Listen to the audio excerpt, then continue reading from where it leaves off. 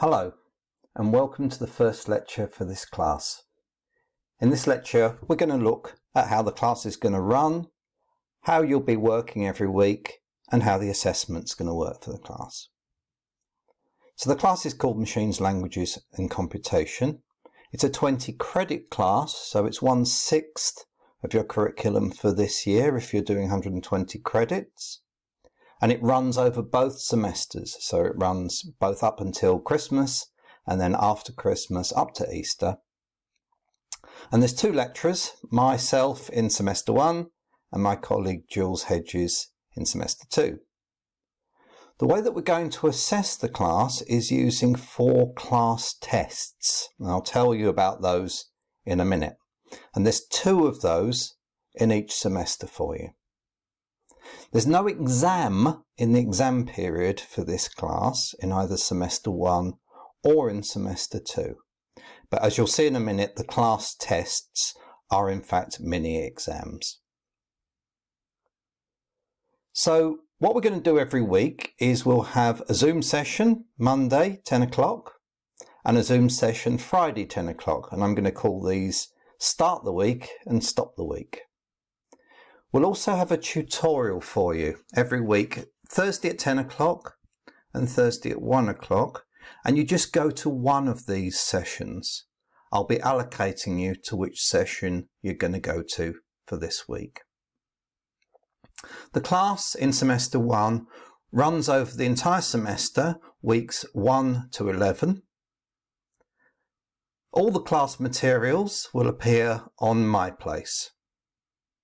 And my email is john.levine at strathac.uk. So if you've got any questions about the class or any problems, you can send them there. As well as the lectures and the Zoom sessions, we'll be doing some weekly exercises. Now this is for you to get some practice in doing the kind of things that you need to do as a computer scientist. They're pen and paper exercises because this is not a programming class, it's what we call a theory class. So the pen and paper exercises are mostly about writing algorithms, doing mathematical proofs, and so on. This exercise will take you about one to three hours and it can be done wherever you like because it's a pen and paper exercise. So you can do it on your train if you're going by train. You can do it in your bed if you want to. You can do it between other lectures whenever you like. Every week we will go over the weekly exercise in the tutorial session. So it's important that you look at the weekly exercise and attempt it as best you can before the tutorial session. You don't hand in your answer to the weekly exercise, you go through it with your tutor in the tutorial session. Why should you do the weekly exercises then, you ask, if they don't count for anything? Well, doing these weekly exercises is going to put you in very good shape for doing the class tests. And they're what we use to actually assess the content of the class. So these class tests that I've been talking about, well, what they are is that they're mini exams. Usually they're taken in the lecture slot. But since everything is online in this semester, we're going to get you to do them as take-home exams. I'm going to tell you about that in a minute. So as I said, there's four class tests for CS103. There's two this semester and there'll be two next semester as well. The semester one tests, well, they're on Friday the 30th of October. That's the Friday of week six, in fact and Friday the 4th of December, which is in fact the Friday of week 11. You'll get your results after three weeks after the test date. And for the second test, I'm going to do my very best to make sure that you get your results and feedback by Friday the 18th of December, which is the very last day of this semester. How are you going to do this? As I said, it's going to be a, in the form of a take-home exam. We've been doing this for a little while now, and it seems to work quite well as a replacement to sit-down exams. what happens is that the exam class test exam paper, it appears on my place at nine o'clock in the morning on the day of the exam. So you go to my place anytime after nine o'clock and you'll download the test paper, which will be in PDF format. You then need to create a solution document. In other words, your answers to the questions that are on the test. For this, you can use a word processor if you like, or your answers can be handwritten if you've got good handwriting and it can be read by me. And then you'll have to digitize them. And the best way of doing that is using a scanner. You can upload then your solution document to my place and we're going to allow you to do that up to nine o'clock in the morning the following day. So you've in fact got 24 hours to complete the test. When we do these in the lecture slot, the students only get one hour to complete the test, but we're giving you a little bit of extra time here to allow for the fact that you'll have to schedule a quiet hour to do the test and also that you'll have to prepare and then upload your solution document.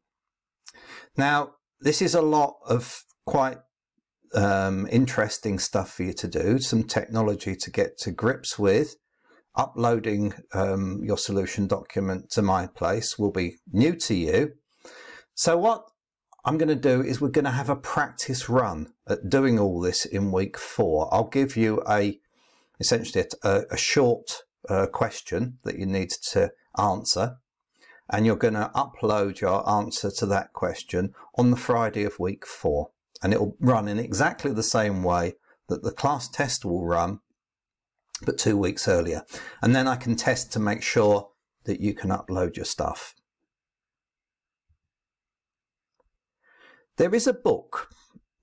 It's not a book that you have to buy, but certainly you'll find this book on many computer scientists' uh, bookshelves.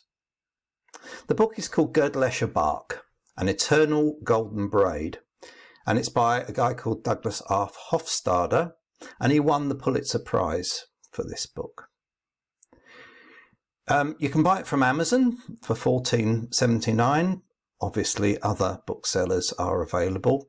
You can also find quite a few second-hand copies for less. Now, parts of the class, particularly the MIU puzzle that I'll be introducing you to, are based on parts of this book, but you don't have to buy a copy. You can buy a copy if you like, and I would certainly recommend it as a, as a book to anyone. It's a bit crazy, but it's crazy in a really good way. And I think it was written in the early 1970s. Why do I recommend this book? Well, it's a really nice introductory book to lots of ideas that you're going to encounter over and over again in computer science. So the examples of this are, well, proof, especially formal systems. Formal systems are systems made up of symbols. And this really matters in computer science because symbols really matter to us. Decidability is whether or not something is, you're given an input and you have to decide yes or no. Is it one of these or not? An example, I give you a number, a whole number, and you have to decide whether or not it's prime. You say yes or no. That's a decidable problem. What other problems are decidable? Syntax and semantics you're going to encounter a lot in computer science. And this topic, recursion, is where you define something in terms of itself. And it's really powerful in computer science. It's one of the top five ideas in computer science as voted for by members of the Association for Computing Machinery. Formal languages are the things that we program our computers in, so we better be very good at knowing what they are. Abstract machines allow us to reason about computation, Artificial intelligence, well, that's a hot topic. That's making machines that can do tasks which, when done by human beings, require some brain power. and there's a lot more besides in the book. The central topic of the book, well, you could say that it's Gödel's fundamental result on the incomplete nature of formal systems. And in the book, um, Hofstadter compares that to the human mind and thinks about how that impacts upon artificial intelligence. There's also some lovely pictures by a guy called Escher, who you might have encountered already. And this stuff about Bach as well, who wrote some very interesting music involving repetition and repeating structures. So in the next lecture, what I'm going to do is I'm going to consider the question, what exactly is computation?